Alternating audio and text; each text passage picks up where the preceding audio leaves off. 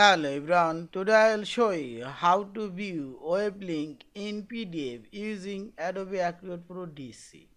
Open your PDF file and I will find all of this web link in this PDF file. Select this tools option and you will find this edit PDF option select and select your link and select your add or edit web link select this link already selected this is link web links and this is a web link and there is no web link now I'll select this web link click this arrow. And select this link. Yeah this link working google.com and this link click here.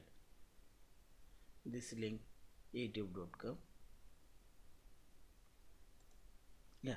Also you can select this link and select edit and select your properties and go action. Youtube.com okay.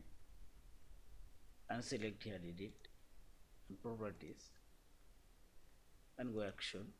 Is google.com yeah. Thank you for watching. Please subscribe like share and comments